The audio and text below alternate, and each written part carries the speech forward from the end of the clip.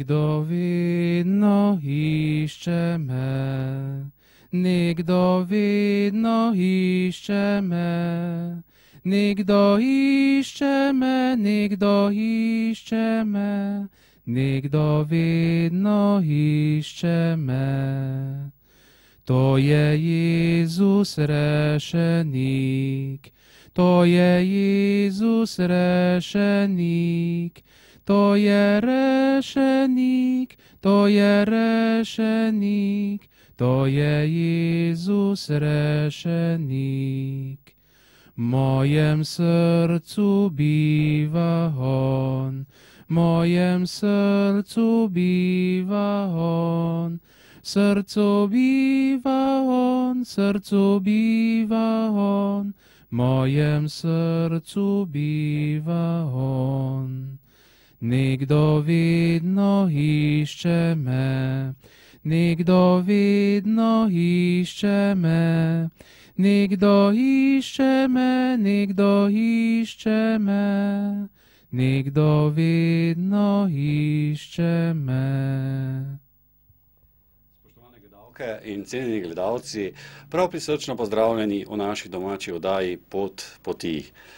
30 let eh, župnije Sveti križ bomo danes spoznali eh, in z menoj v studiu sta tudi dva eh, duhovnika, gospod Tonček in duhovnika Jože, katerega že poznamo, katerega smo si tudi malo prisvojili. Dobrodošla in Bog daj. Zdravljeni, pozdravljeni. Na kratko bi vas, gospod Tonček, prosil, če se našim gledalcem predstavite. Malo pišete župnijo prek Murjo, vaša otroška leta. Lepo pozdravljam gledalce mojega TV.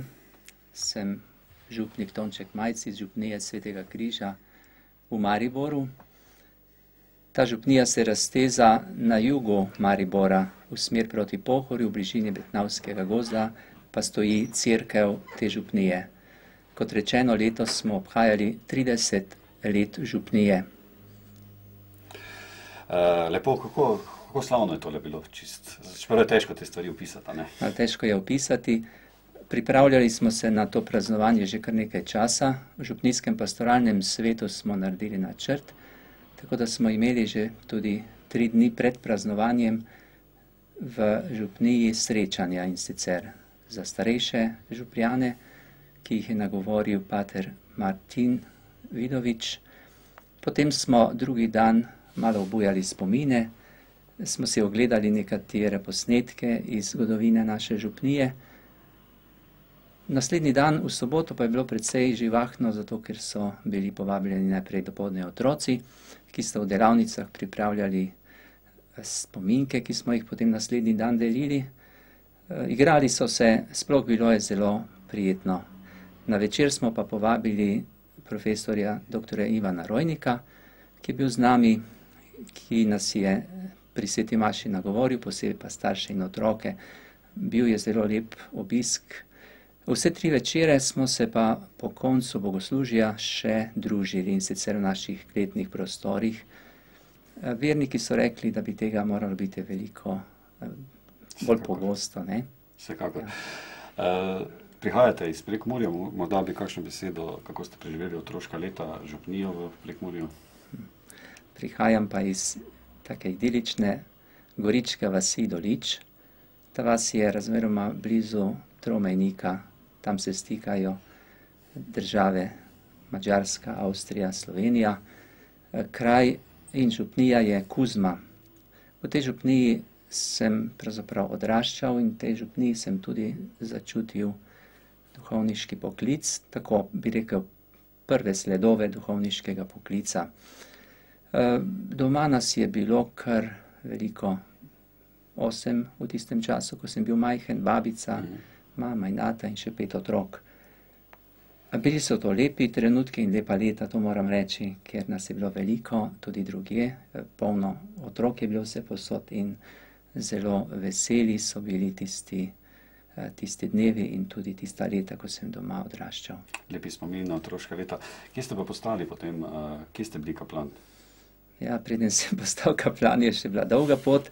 Vsekakor. Sem šel skozi, skozi Slonškovo dijaško semenišče, potem skozi eh, Bogoslovje v Ljubljani in Mariboru. V glavnem bil sem posvečen leta 70. Eno leto sem potem deloval kot prefekt v Slomškovem dijaškem semenišču, potem pa pet let župni svetega rečnega telesa, tam sem bil kaplan. Uh, bi pa se pravzaprav uh, opisali eh, prejšnjo, pa sedaj, sedajšnjo župnijo, kar nas pravzaprav ste že sami omenili, Ja. Tako. Prejšnja župnija je bila razmeroma velika. Svetorečne telo je segalo tja skoraj pod pohorje do Radvanske župnije. In ravno to področje, kjer se sedaj razteza naša župnija, je bilo tam po letu 60, eh, pravzaprav bolj proti letu 70, eh, eno veliko gradbišče, gradili so se bloki, zelo se je širilo in takratni župnik je imel eno, eno vizijo, Eh, Kupil je eno staro hišo in je rekel, tu mora biti ena točka, kjer bi se lahko ljudje zbirali. To je bila ena stara hiša, ki so jo preuredili, majhen bogoslužni prostor je bil tu, pa prostor za, prostor za veruk in mala, mala zakristija, to je bilo vse. No in kakšnih pet let, ja, kakšnih pet let je ta cerkvica ali ta kapela svetega križa služila kot podružna crkev. Tja smo hodili učiti veruk, tudi jaz sem ga hodil tja učiti. E, takrat že upokojeni e, bivši župnik Drago Beržan je petkih, sobotah in nedeljah imel tam bogoslužje. V glavnem tam se je že začelo dogajati vse in je bilo zelo lepo. Se še spomnite tistih časov, eh, ko ste pravzaprav uh, začeli uh, v tej, uh, tej župniji, pa ste imeli kitaro, potem vas vse pravzaprav večina teh otrok uh, spozna oziroma se spominja, čeprav so že zdaj odrasli. Ne? teh časov se zelo spominjam in me mnogi, mnogi mladi vedno tudi vračajo v tiste čase, ko se srečujemo, pa rečejo, ja, takrat smo bili, takrat smo hodili k veruku.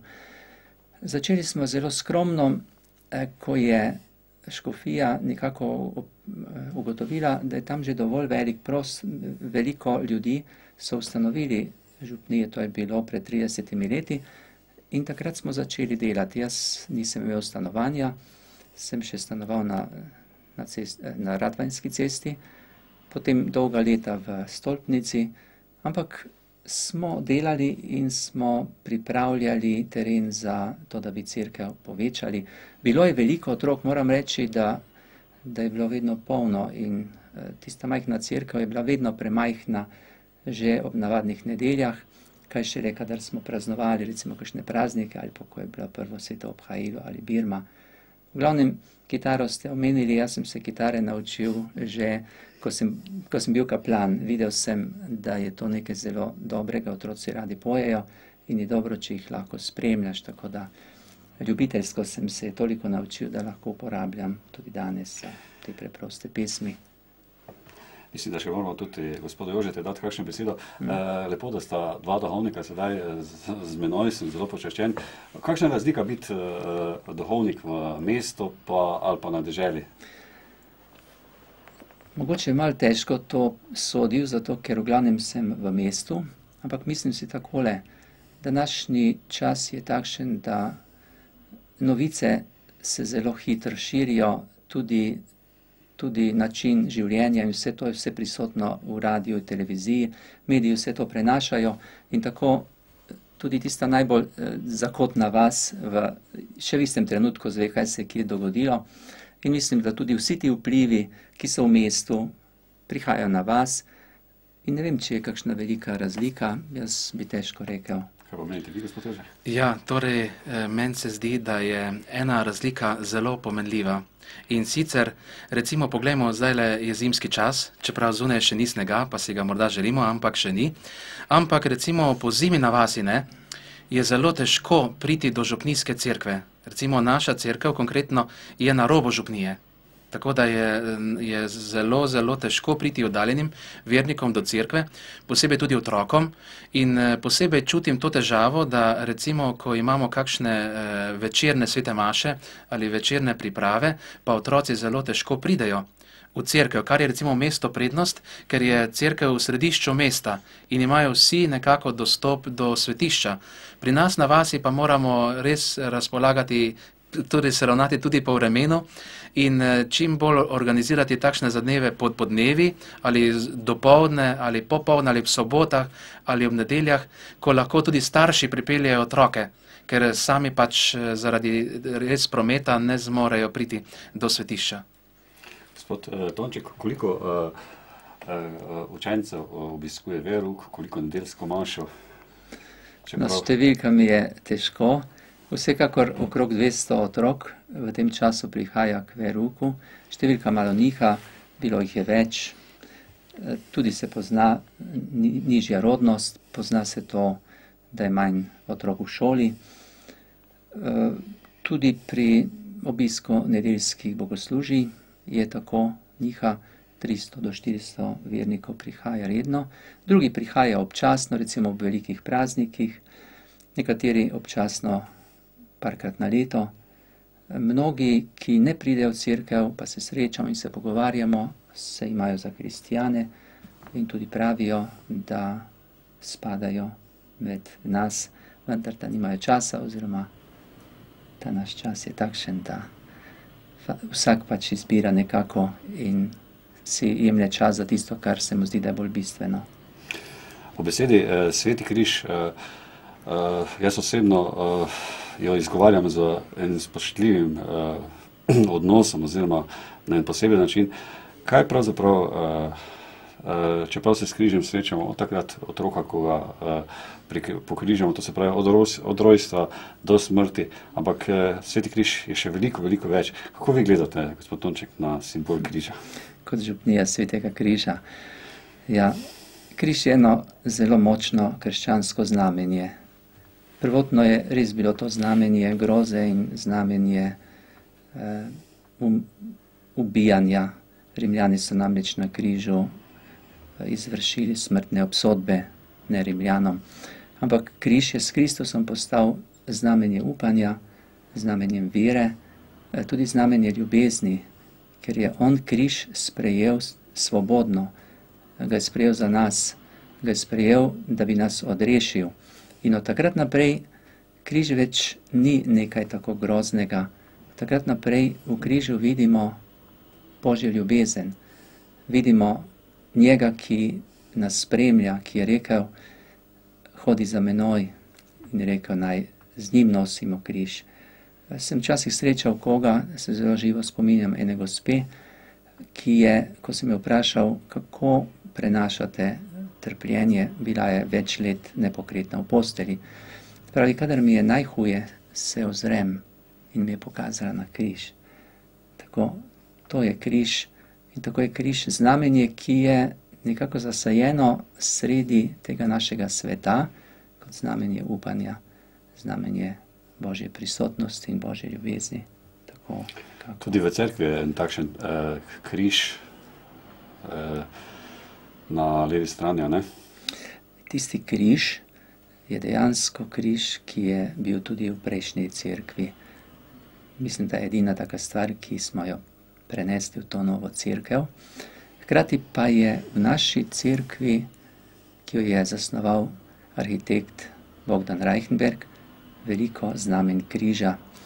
Eno izmed znamen je tista sprednja stena, ki, ki se takole odpira in je hkrati kot križ in hkrati kot razprte roke, ki vabijo in pravijo, pridite k meni vsi, tako kot je Jezus tudi rekel. To ste zelo lepo povedali. Bi še gospod Jože, kaj dodali? Ja, gotovo križ, že v svetem pismu beremo, da je križ judom pohujšanje, poganom nespamet, nam pa, ki verujemo, pa je moč in milost in božja modrost. Zato pravim, da brez križa ni paradiža, in samo križo je zveličanje in odrešenje. In spomnim se, ko sem spremljal gospo, ki je umirala in je bila vedno nemirna. Tiste zadnje ure so bile za njo zelo, zelo pretresljive in bila je nemirna. In videl sem, da je gledala na steni križ. In rekel sem domačim, dajte tej gospe križ, naj ga stisne, pa boste videli, kako bo lažje se poslovila z tega sveta. In res domači so najprej dvomili, tako kot je ponavadi. Potem pa sem rekel, le dajte ji, le dajte ji, ne, ne, ne zdaj delati kakšne panike, lepo dajte ji, gospa se poslavlja, pustite jo, da odide. In res so ji dali križ, ona je močno stisnila križanega, zašepetala, verjetno Jezus, ljubim te in se tiho poslovila, lepo mirno zapustila ta svet. Zelo lepo. Spotonček je spoved uh, potrebna za človeka, verjetno je, ne? Zdaj smo govorili o križu. Spoved je zakrament, ki je tudi znamenje Božje ljubezni. Vsekakor je spoved zelo, zelo potrebna človeku, ker naprej postajamo eh, nekaj dolžni, se zadolžimo pri enem in pri drugem, temu rečemo tudi greh ali kot rečemo to voče našo, ne, dol, dolgovi. In človek težko živi in težko to nosi s seboj. In zato nam je Kristus dal spoved, ta dar odpuščanja, to je velikonočni dar, da to lahko odložimo. Ne zato, da bi kar naprej ponavljali eno in isto, ampak da lahko odložimo, da lažje začnemo na novo. In tako človek počasi, počasi postaje močnejši. Spoved nas utrijuje v dobrem in nas uspodbuja k dobremu. Vsakemu bi jo zelo priporočal. Lepo. Uh, pri tem se še moramo tudi mladih uh, dotakniti. So mladi v naše upanje ni vse tako črno. Vsekakor. Mladi so upanje sveta, mladi pa so v tem času, seveda, v drugačnih okoliščinah, kot smo bili mi. In v teh okoliščinah moramo iskati načine in oblike, kako jih nagovoriti, kako jim to resnico, ki je večna resnica, krščanska resnica, kako jim jo približamo, kako jim jo uh, podamo, da postane del njihovega življenja. In potem tudi v teh spremenjenih razmerah mladi nosijo s seboj vero, upanje in tudi ljubezen. Vsekakor so mladi upanje. Se ne bo še pa gospod uh, Jože zapel pesem Petr Skala, glasba Jože Ferles, tekst Janez. Janez Ferleš, tekst J. Lebar in uh, aranžma T. Valenko. Petr Skala, tu smo veliko krat uh, tudi podobni. Petr Skala, ki stoji na trdi skali. Upam, da nam bodo v režiji spustili vsak čas.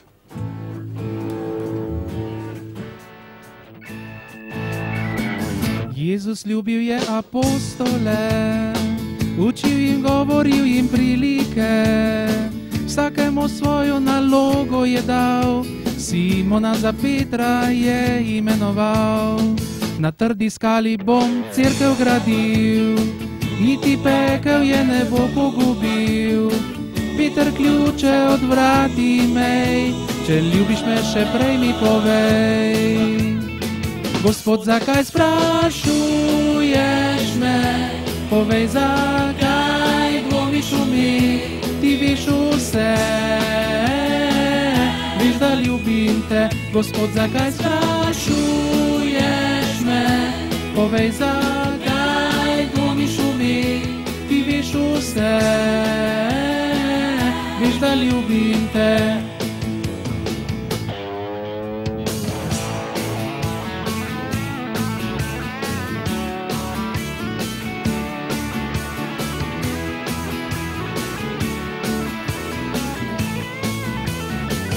Jezus ljubil je apostole, učil in govoril jim prilike, vsakemu svojo nalogo je dal, Simona za Petra je imenoval. Na trdi skali bom crkv gradil, niti pekel je ne bo pogubil.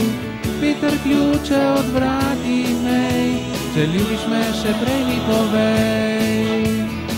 Gospod, zakaj sprašuješ me? Povej, zakaj dvomiš v mi, ti veš vse. Veš, da ljubim te, Gospod, zakaj sprašuješ me? Povej, zakaj dvomiš v mi, ti veš vse. Veš, da ljubim te, Gospod, zakaj sprašuješ me? Povej, zakaj dvomiš v mi, ti veš vse,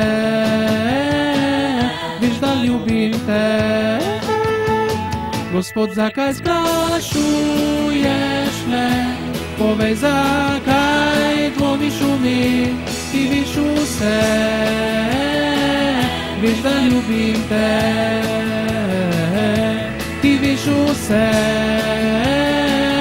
veš, da ljubim te.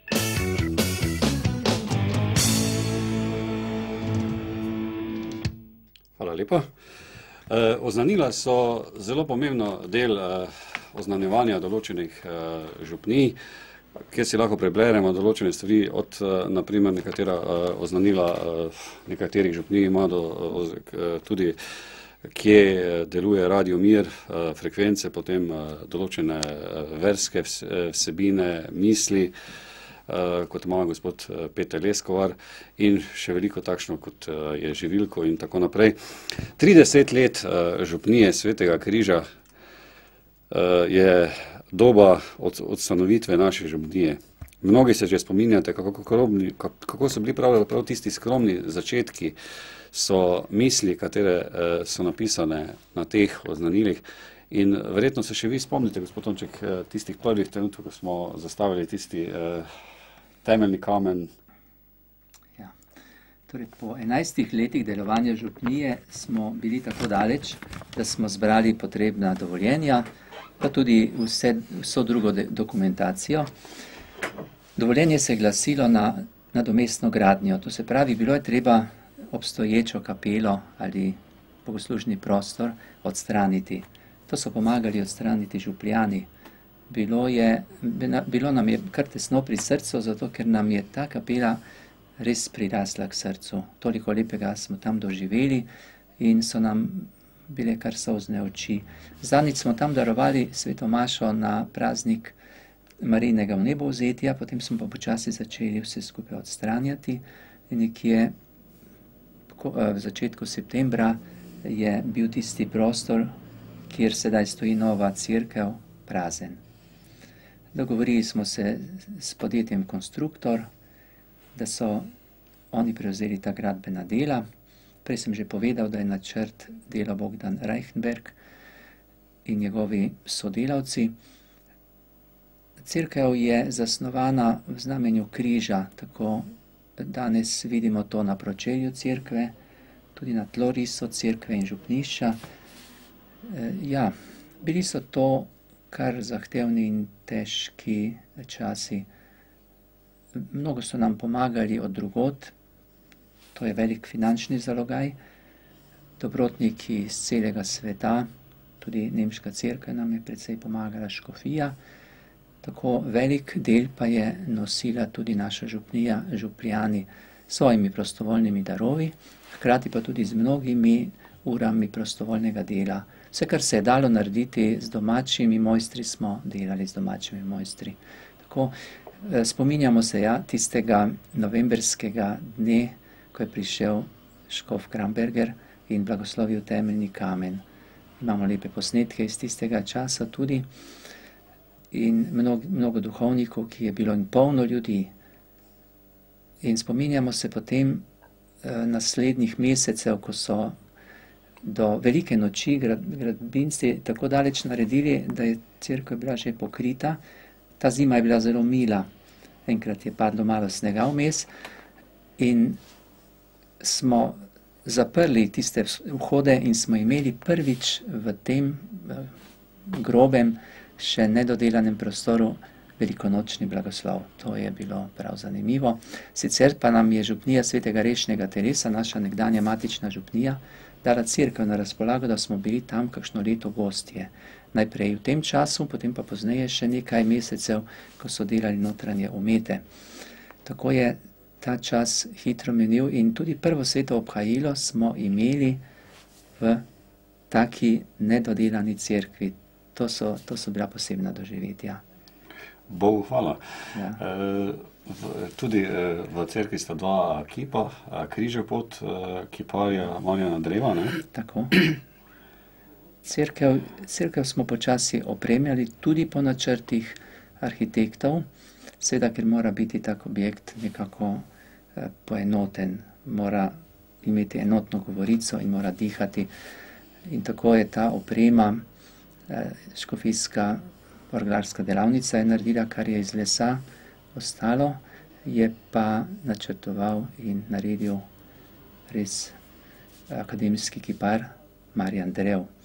Tako, je, tako so njegove jaslice, tako sta njegova kipa eh, Marije in Janeza pod križem, tako stari zveličar, tako božji grob, tako seveda križev pot. Sploh je na križevem potu Marjan Drev hotel povdariti, to je crkva svetega križa. Razen 14. postaje ima vsaka postaja vsaj del križa, tako da eh, spremlja križ v celoti eh, križev pot. Je lep in si ga je vredno enkrat ogledati, če ga gledalci še niso videli. To je tudi povabilo za naše gledalce, da obiščejo uh, cerkev, ogledajo uh, ta lep križev pot. Je pa to cerkvica, ki je uh, zelo preprosta in uh, človeka, tistega čist preprostega človeka nagovorijo. Ne? Ta cerkev neka, deluje nekako asketsko. Nima veliko stvari, včasih kdo pride pa pravi, ja, slik, kje pa imate slike.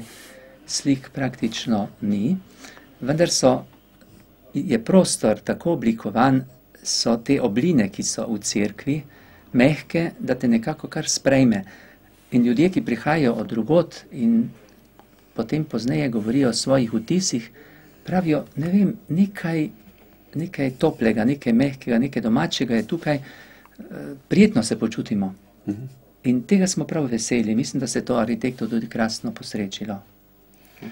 Katere lajčne skupine pa imate v župniji pastoralni svet, bravce, beril, ministrante, kolpingo, družino, karitas, rokodelski krožec, čistilce, cerkve, zakon za zvezo, pa mi še morda dopolnite. Ja, zdaj smo govorili bolj o gradnji in o takih stvarih. Sveda župnija eh, je veliko več kot samo tista crkva, ki tam stoji. Župnija, to smo ljudje. Župnija smo vsi, ki živimo na področju neke župnije, se čutimo povezane in tako župnija živi in nekako diha z ljudmi in ljudje z njo. In župnijo, župnijo vodijo eh, poleg duhovnika, župnika, tudi drugi, torej laični sodelavci. Kot prvi so župnijski pastoralni svet. Župnijski pastoralni svet je je, Eno gonilo, ne? eh, ja, je izvoljena skupina ljudi, eh, ki stoji duhovniku ob strani, eh, recimo skupaj načrtujemo, skupaj razmišljamo, tudi delamo analize včasih. Župnijski pastoralni svet potem tudi priskoči duhovniku na pomoč, ko je treba kakšno stvar narediti. Je, je neke vrste most med verniki, med ostalimi, ki so jih izvolili, in pa